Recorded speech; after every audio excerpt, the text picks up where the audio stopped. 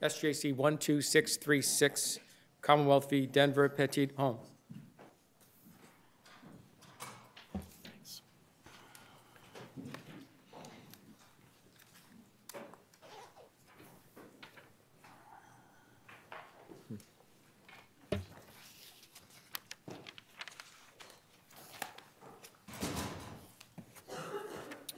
Mr. Crane, good morning. Good morning. May it please the court, Edward Crane on behalf of Denver Petit-Homme. The question raised here is whether the immigration warning required by Rule 12AC3B is materially the same as the immigration warning required by GLC 278, Section 29D, such that the 3B warning can excuse an omission of the 29D warning. It's the defendant's position that the two warnings are materially different in scope. The 3B warning advises defendants that if they are pleading to an offense that presumptively mandates removal, then deportation, exclusion from admission, or denial of naturalization, Talk a little louder, sorry. my apologies, is practically inevitable. This warning specifically conditions the risk of immigration consequences on the fact that the offense is one that presumptively mandates removal.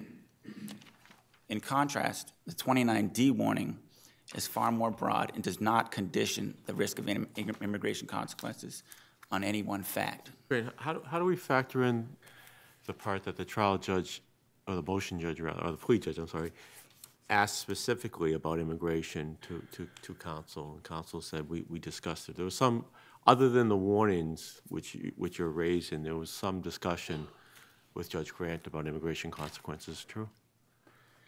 The only thing that I can recall from the, the plea transcript is I thought they said it in the plea. there was a, rec- there was a question to uh, plea counsel as to whether uh, she had discru- discussed generally um, the collateral consequences of the plea, and she said yes. I thought this is, is, again, we, we have so many of these, I want to make sure I'm not confusing the fact. This is the case where he said he wasn't governed by the warnings, right? That he was, he was born in the United States, right? Yes, he did say, So he mis, he affirmatively misleads the judge about what his status is. yes, he Dur- did. dur- During the colloquy. During the colloquy, he, he stated that he understood English and that he was born here, and, and that was, inc- that isn't correct. I think he also said that he understood the possible immigration uh, consequences in the colloquy, as I remember it, and obviously not uh, uh, in and of itself enough. He signed the green sheet acknowledging the, um, the uh, 29D uh, warning, that he, that he understood it. Yes.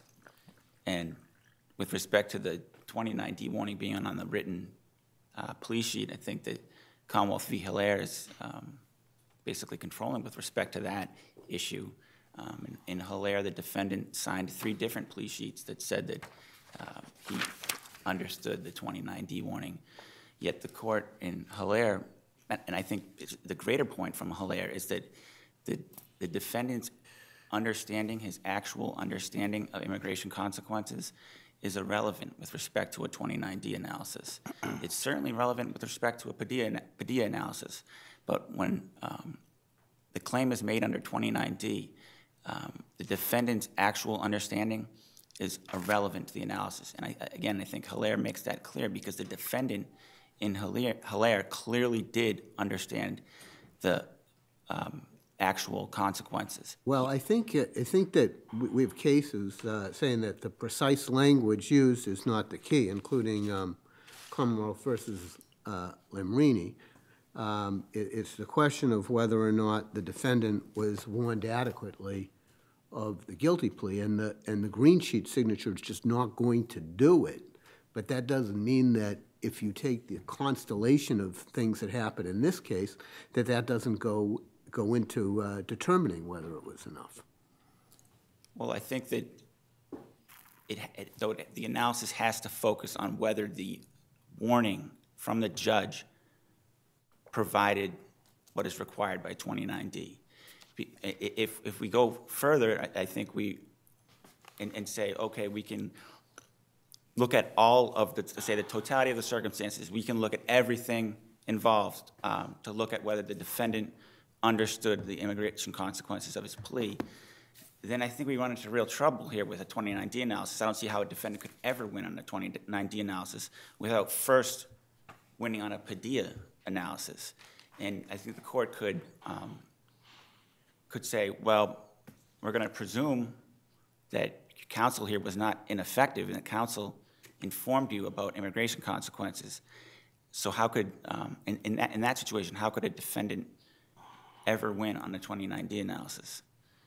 Now, I gather there, I'll ask your sister, but I gather there's no dispute that the crime to which he pled guilty is not one which presumptively mandates removal from the United States.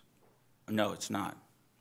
Uh, So if he understood that, the instruction would have had no consequence on his decision,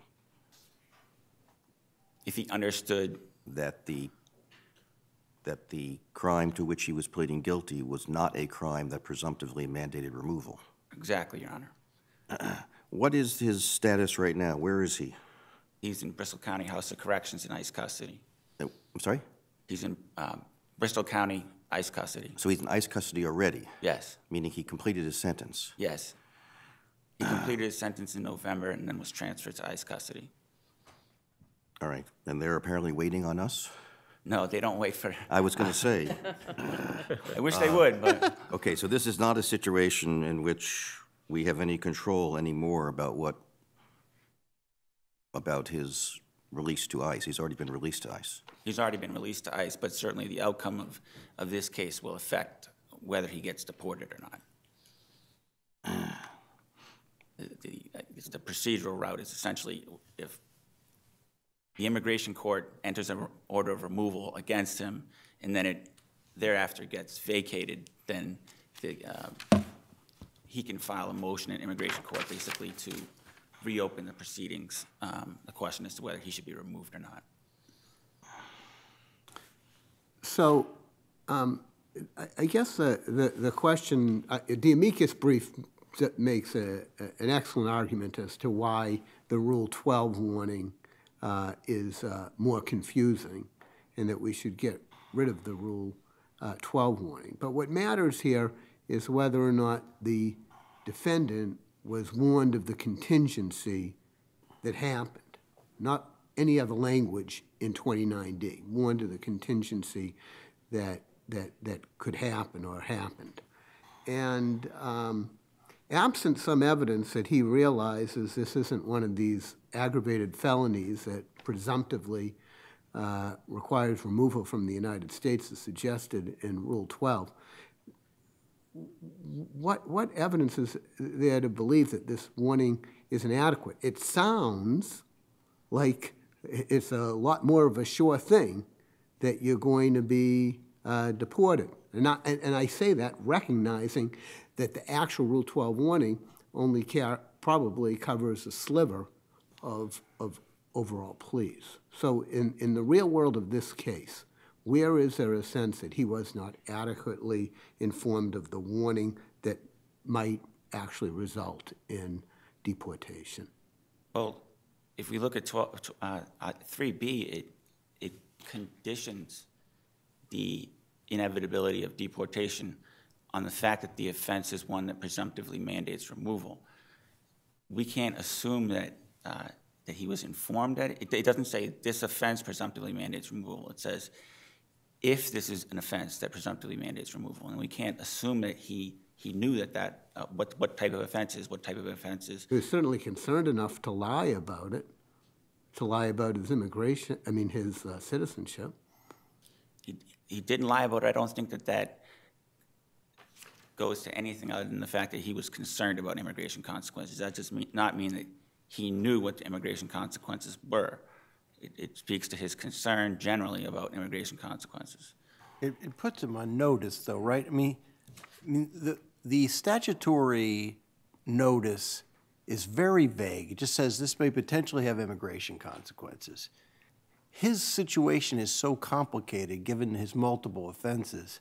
Isn't the rule essentially giving him the same notice? Um, I understand if it were it, it's too specific, but at the same time, it's saying, you know, this may have immigration consequences. In fact, you're in real trouble, essentially. A- And, I thought it was that it's his offense may actually fit within the first part. It's just not practically inevitable that he's going to be deported. I thought he actually meets the first part of this, but not the second part, based on the CPCS immigration brief. Well, I, I think the offense itself, assault with a dangerous weapon, is not one that I thought, though, because he has other offenses, and if you look at his history, he may actually, his offense may fall within this category, but it's not practically inevitable that he's going to be deported. Well, it, it does, it does make him removable, but because he had prior crimes involving moral turpitude, he had a prior conviction for a crime. So crime. doesn't involving- that make that offense a presumptive one of those? It's just that he's not practically inevitable that he's going to be deported. The whole thing is, you need an immigration lawyer to figure this out, and a damn good one. Um, But isn't he on notice that he's got immigration consequences here? And then when he misleads the judge and says, I'm not even an immigrant, are we really reversing in that context? Well, I, th- I think, again, we can't focus on, um, we can't focus on whether the defendant knew that immigration consequences were a possibility or not. Even if he did, if that warning is not given, I think the statute requires that the defendant be entitled to withdraw his plea. Well, the stat, we, we've said that you don't have to give it word for word, right? Yes. We've also said in Hilaire that the other, the green sheets are not enough. Um, But we're starting to, you know, split hairs here as opposed to, is he on notice that there immigration consequences? It, it, it seems hard to believe that unless he's a brilliant immigration lawyer, he doesn't worry that he has immigration consequences here. Well, then I, I, again, I think that we get to the point where 29D is essentially irrelevant. If, if, if uh, a judge, say a judge never gives a warning, then does all the Commonwealth need to do to satisfy 29D, go- come back in on a motion hearing and say, well, you, sir, you were generally aware of immigration consequences, right? And if he says yes, then, um, Isn't that what the statute does? It says, look, this may have immigration consequences, including deportation, blankety blank and blankety blank. Isn't that, a... I mean, isn't the essentials all given here? I don't think so, because the, again, the, the plea, that the, uh, the three B warning, the one that's actually given, conditions this result upon this being a type of offense, whereas the twenty-nine D warning does not condition it on any type of offense. It says, any, any defendant here, any defendant in front of the court who's tendering a plea might result in immigration consequences, and that's why the, uh, scope of it is broader. And I think also, the, the court has to rem- remember that this is a statutory analysis. And I think that Villalobos is, it, it's somewhat the inverse of this case, but I think it's, um, it's very relevant because in Villalobos, the warning itself was actually misleading. And so in that case, the, the, the defendant's knowledge is, he's been misled essentially. Yet the court says, because the judge followed the statute, the defendant's not entitled to withdraw his plea. So I think that case is, is another strong, um, it along with Hilaire essentially establishes that, look, it does not come down to the defendant's actual understanding of his immigration consequences. It comes down to, did the judge comply with the statute? Did the warnings supplied by the judge comply with the statute? And I think that that analysis has to narrowly focus on the scope of the warning itself. So even if he understood perfectly, it wouldn't make any difference? I don't think so. Yeah, I don't think it would make any difference. Focus is not on him, it's on the, uh, whether the- it's on the warning itself? Yes, I think it's got to be on the warning itself, and again, Villalobos makes that quite clear, because they are the defendant um, is in fact misled by the warning, and you could say that he- he clearly does not understand um, the potential consequences. Yet, judge followed the warning, so the plea had to be, um, the the plea was legitimate, and he could- was not entitled to withdraw his plea. All right, thank you. Thank you. Ms. Knight?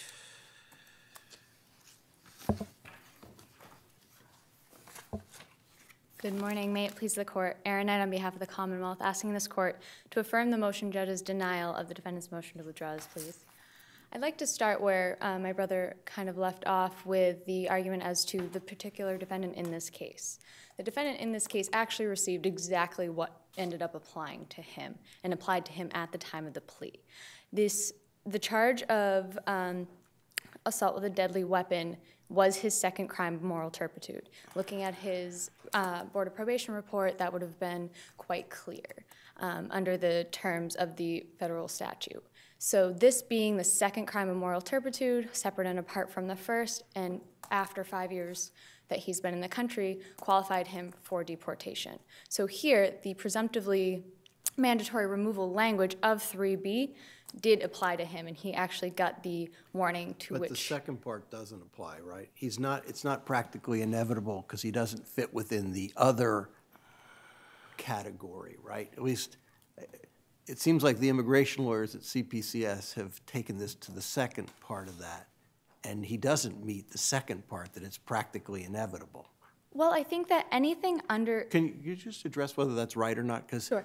I, I'm not exactly sure if that is right, because I think under 8 USC 1227, the immigration statute, anything listed, especially under um, the 237A to A part, is practically inevitable to the extent that those are the crimes that the federal government tends to focus the most on. That's where you're going to find the drug offenses, the firearm offenses, the aggravated felonies, and the crime of moral turpitude. And I think, the two crimes, I'm sorry, of moral turpitude. And so I think that the practically inevitable language actually does apply in this case because I think he was, Although, don't they do statistics on, they, there's another part of the brief that does the statistics saying that, no, it isn't practically inevitable. Actually, a lot of these guys don't get deported. I think it's definitely a case-by-case basis, um, but I think here where he also had other um, convictions on his record that were going to go towards. Are you arguing that he got a more harsh warning? I think he did. I think the 3B language is narrower in scope than the 29D language, but at the same time, the, the 3B language gives the purpose of the 29D statute. The 3B language may explain that it's presumptively inevitable. However, they gave, the, it gives the three enumerated consequences, which all of the case law, Hilaire, Soto, uh, Berthold, they all say is the purpose of that statute. The purpose of the statute is to put the defendant on notice of those three immigration consequences. But the, the, the judge violated here both the rule and the statute, did she not? Technically, yes, because she didn't give Not 3A. Technically, she didn't Yes. give, I mean, the, the rule says you should give A and B. But And the does- commentary makes clear that you're s- required to give both. The case law, the interpretation by this court and the appeals court is that the precise language is not necessary.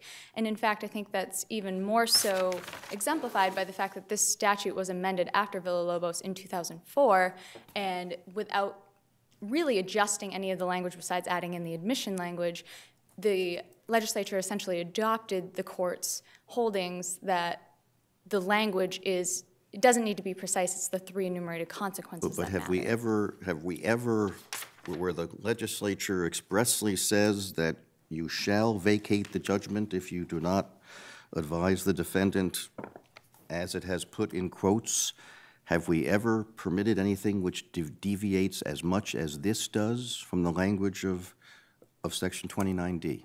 Yes, and in fact, in these Which, cases. wh- which, which case do you say that the actual instruction deviated as much as this did?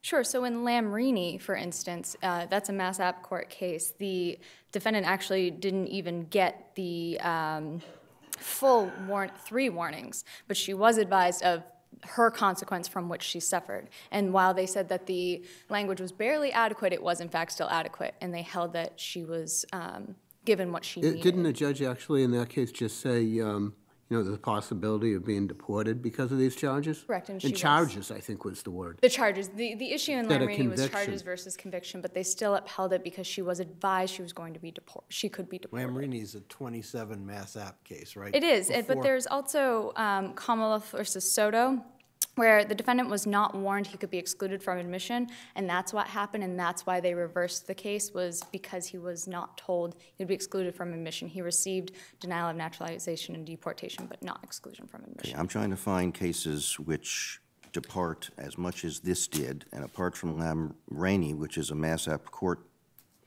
Well, decision? Berthold, which is 441 Mass 183 from 2004, the judge did not give a complete 29D warning. He failed to advise about reentry, but he did warn about deportation, and that was the defendant's claim in that case. And we, and we reversed. That, well, that case, I, We vacated the, I mean, I'm, I'm trying to find cases where we actually said we're not going, that the language of the statute is not going to require us to vacate the judgment and permit the defendant to withdraw the plea. I, don't believe, Berthold does say that the inadequacy complained of is immaterial to the harm for which the remedy is sought, then you do not have to um, reverse based on the 29D language. And I think, I'm sorry. Oh, I'm sorry. I thought you were asking a question. Um, I think that this is the this case falls exactly into that. Berthold says because the defendant was warned of the precise immigration consequence that he subsequently faced, the motions to withdraw his guilty pleas were properly denied. That's because he was warned that he was um, eligible for deportation or could be based on that plea, and that is exactly what happened. And that's what happened here. He was warned that he would be eligible for deportation. In fact, he was given a heightened warning that would make one stop and think a, possibly a little bit more with that practically inevitable language, and that's what happened. So if you're right, we would have to make a factual determination that indeed this particular crime is one that presumptively mandates removal from the United States? I don't think you have to make that finding here because I think it's clear that it's not, it was not just that one charge standing alone that would have been presumptively removable. That is true. In fact, I think it doesn't become an aggravated felony until he's actually sentenced um, because he did receive a CWOF in this case. Um, but I think that given the situation of this particular defendant, he got exactly what he needed to hear during this plea. So we would have to make a determination first that it was right that he get this plea. You would, I- I think you would have to make the determination that, yes, he, this was correct in this instance. Because, because uh, you were right about the, the nature of the, Because the nature of the statute, the purpose of the statute is to put him on notice of what he is going to, what he could potentially be, um, suffer from as consequence, and that is what he received here. So if you're right, why do we bother to say give both? Because it sounds as if Yeah, so always going to be sufficient to give only one, even though we expressly said you have to give the Sure, so my understanding of the enactment of 3B, the Rule 3B, was to put defendants on a heightened notice in particular circumstances, where um, 8 USC 1227, those crimes are so general, it's hard to pinpoint exactly um, what would put the defendant on notice. While it's not the judge, it's not up to the judge to determine whether or not um, such a crime, or such a conviction would qualify. I think the 3B notice um, was put in just to kind of heighten that expectation. However, I do think that the 3B noti- uh, rule is in fact confusing when coupled with the 29D or 3A language that says maybe. Um, So I think that in actuality, the best case moving forward, I don't think it applied here because he got exactly uh, what he needed, but I think moving forward would be to give only the 29D or 3A language instead of the 3B, because I think standing up there listening to both at the same time could be a bit confusing as to where the defendant actually falls under. Isn't that for the legislature to figure out, though? That's, that's not for us. Well, I think, well, the rule was promulgated by this court, and so I think that the legislature having um, left the 29D warning essentially alone since the court's been interpreting these cases as it has been um, with uh, Berthold and um, the Soto, and then the lower court, or the Mass App Court with Lamrini and Agbogun. And it's cases of that nature, I think they've essentially adopted how the court's been interpreting that notice requirement. So I think going back to the 3B language, um, I think that it is essentially confusing to give both because you're giving basically the same exact recitation twice if you're to read them verbatim. You're giving them same recitation twice except for that uh, practically inevitable or may language. Can I go back to Justice Gaziano's point, which is the, the warning here was more extreme. So he was, it's not quite accurate, but it's actually telling him he's in more danger. Absolutely. Does that- Does that, how does that play? When it's not quite right, it's not Bertold right on the money, but actually it's saying you could be in more trouble if you, take the guilty plea. I think if anything, that sets off more alarm bells, that if the defendant hasn't talked to their uh, lawyer about this, if they haven't been fully advised as to if this falls under that language, then there's that uh, issue that it's practically inevitable. I think that given that language of being more severe than a may language, a more general language, would tend to put the defendant on higher notice that this is more so a possibility. I think, given the three enumerated consequences, any defendant would be wondering, especially a non-citizen, obviously, um, am I going to qualify for this? And I think with that practically inevitable language, it gives a little bit more of a, this is a ser- this is serious, this may happen, um, or this is in fact um, quite possibly going to happen. So I think in that heightened analysis, that would put any defendant on more notice than the 29D language would. But, but our rule didn't say where, that you can give B alone. It says you have to give A and B. I believe it does say that both are required, but when you violate a rule, the procedural rule, it's not an automatic um, issue. I think here, when you violate the statute, it is. focusing on the 29D, but again, going back to those cases that have interpreted the statute and how the legislature has um, interpreted that statute and not amending it further is the fact that the notice is what's required, the notice of the three uh, enumerated consequences, and especially the consequence from which the defendant suffers. And that is, in this case, that is what happened. If there are no further questions, come on. Thank you. We'll take our morning break.